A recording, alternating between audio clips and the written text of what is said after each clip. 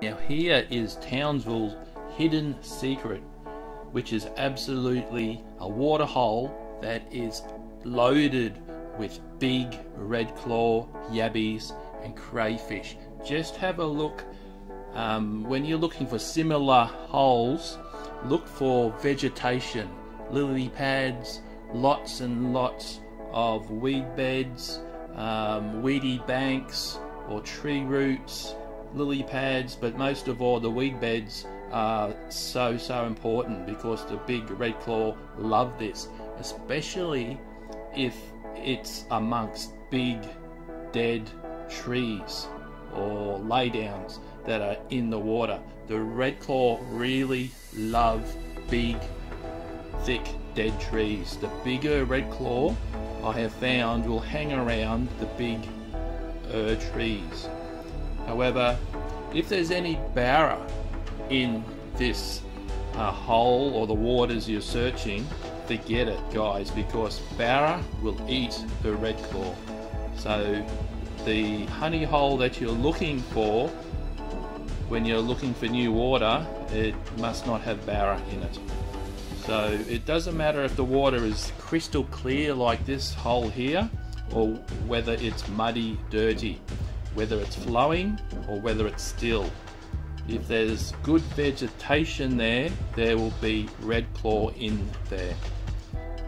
One thing to remember, don't ever eat red claw in stagnant water as the meat will be a orange color and toxic. So if the meat is orange, don't ever ever eat red claw if it's orange. It needs to be that pure white color. Um, if it's not the pure white color, then disregard it.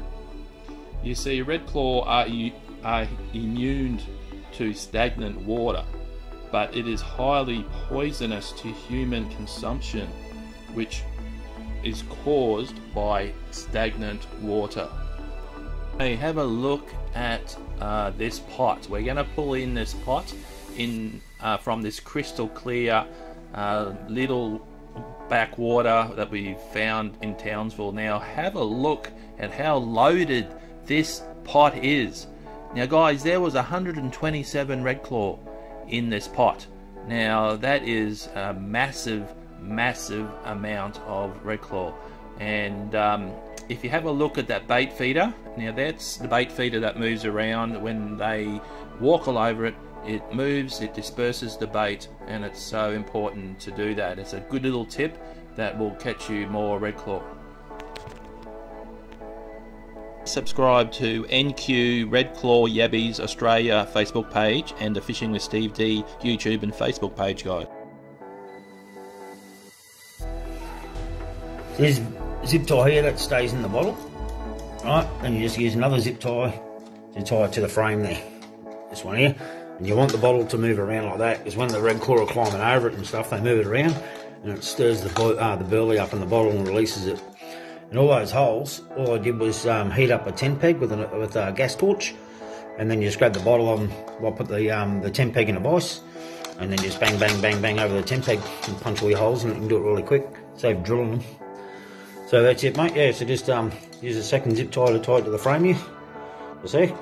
And then just leave that zip tie there on there permanently. And you just keep cutting this one on and off. Might cut that one off to get it out. Yeah, you need that bottle to move around so it releases the burley in the pot. Alright, good luck with it.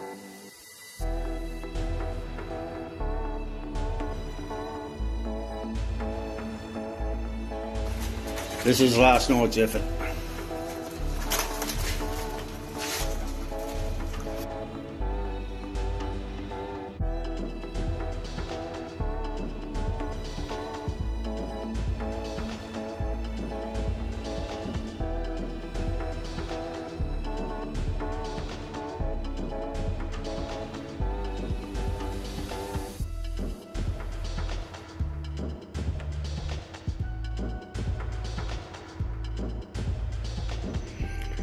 Uh, a few people have asked me how to clean them.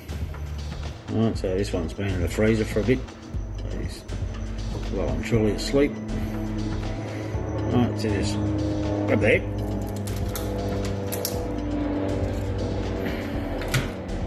off. Break that leg off. And grab that centre flap on the tail.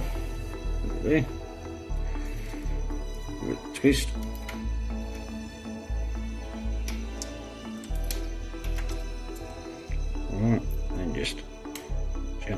Out. And the shit shoot out. Snap off those excess bits.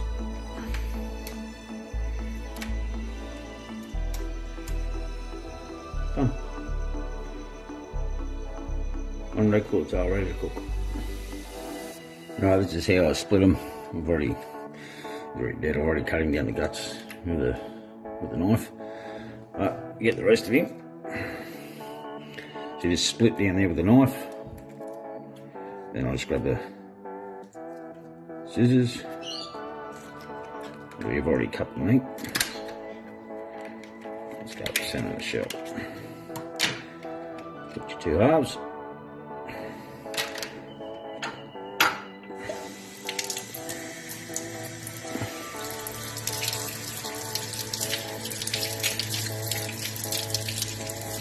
You don't want the antenna and everything, the eyes and stuff there. I'll just break them off.